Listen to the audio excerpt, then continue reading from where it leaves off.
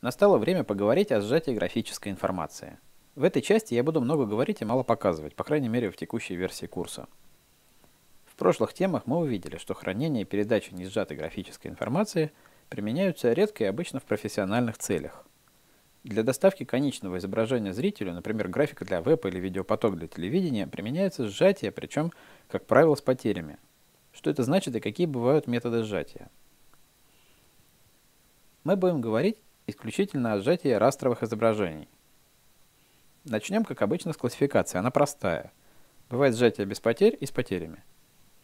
Сжатие без потерь, как следует из названия, гарантирует, что восстановленное изображение будет математически точно соответствовать оригиналу, то есть не выглядеть как оригинальное, а с абсолютной точностью передавать значение каждого пикселя.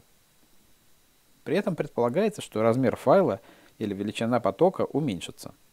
При всей привлекательности сохранения абсолютно всей информации у таких методов есть один большой недостаток – они неэффективны. То есть коэффициент сжатия у них крайне низкий. Обобщенно скажем, они сжимают в разы.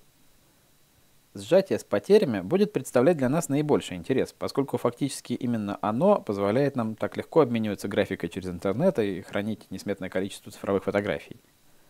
Главное достоинство алгоритмов сжатия с потерями – это их эффективность. Они сжимают не в разы, а в десятки, сотни, особо выдающиеся в тысячи раз.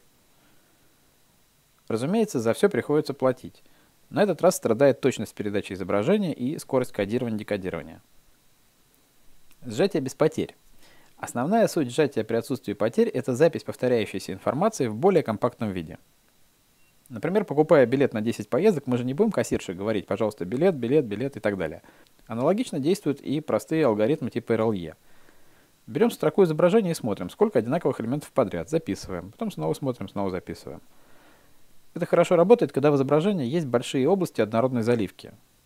Потому что в полноцветном изображении с виду однородная область будет вовсе не однородной.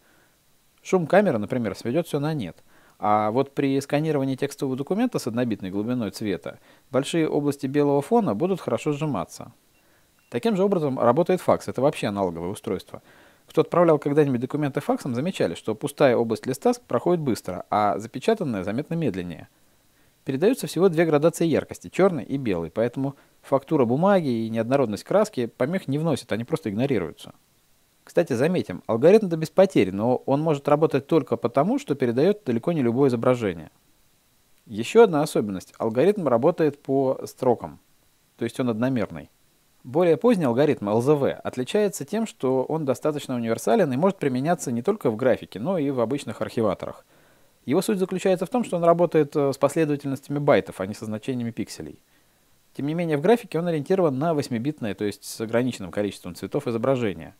Хорошо сжимает однородные области, но может давать отрицательные результаты в шумных областях, хотя это и встречается крайне редко. Специалисты утверждают, что лучший результат – это тысячекратное сжатие. Но достигается оно на однородном изображении размером около 7 мегабайт. В среднем указывается четырехкратное сжатие. Для полноцветных изображений также есть не теряющие никаких подробностей алгоритмы. Это Lossless JPEG. Средние показатели сжатия около 2, в идеальных условиях до 20.